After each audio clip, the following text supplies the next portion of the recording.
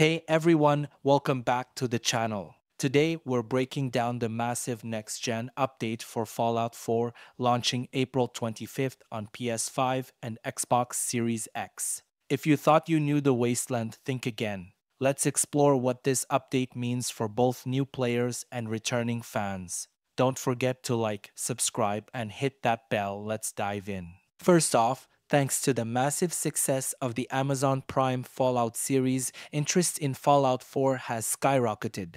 Bethesda is seizing this moment with an update that brings the game fully into the next gen era. This means crisper graphics, smoother performance, and loads of new content.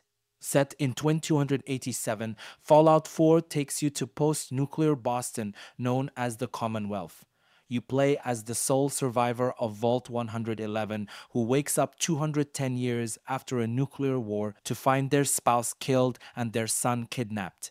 It's a story of survival, conflict, and the harsh realities of a world reborn through nuclear fire.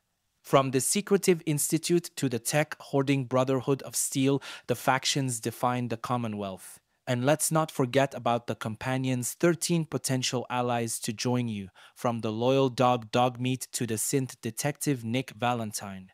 Each offers unique insights and benefits, making them more than just sidekicks.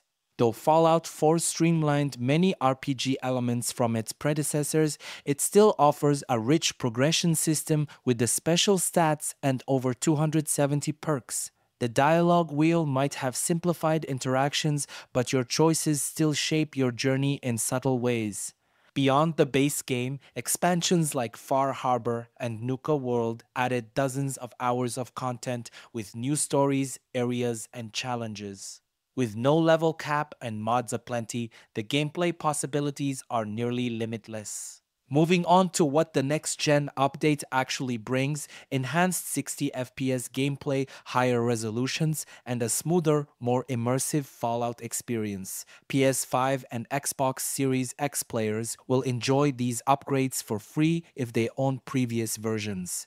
PC gamers aren't left out. The update enhances support for widescreen and ultra widescreen resolutions, along with bug fixes and more. Stability improvements across all platforms ensure a better experience for everyone.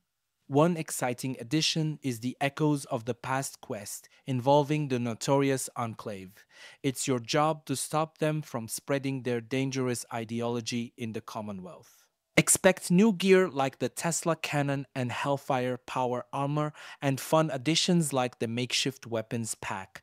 These aren't just cosmetic, they bring new strategies and fun to your gameplay. Lastly, Fallout 4 is getting optimized for the Steam Deck, ensuring smooth play on the go. And starting April 25, it'll also be available on the Epic Games Store, giving you more ways to play. There you have it, folks, everything you need to know about the Fallout 4 Next Gen update. Whether you're revisiting the Commonwealth or experiencing it for the first time, these updates are set to enhance your adventure. What are you most excited about with this update? Let us know in the comments below. Thanks for watching today's deep dive into Fallout 4's next gen capabilities. If you enjoyed the video, please like, subscribe, and hit the bell for more gaming guides and news. Until next time, keep gaming and see you in the wasteland.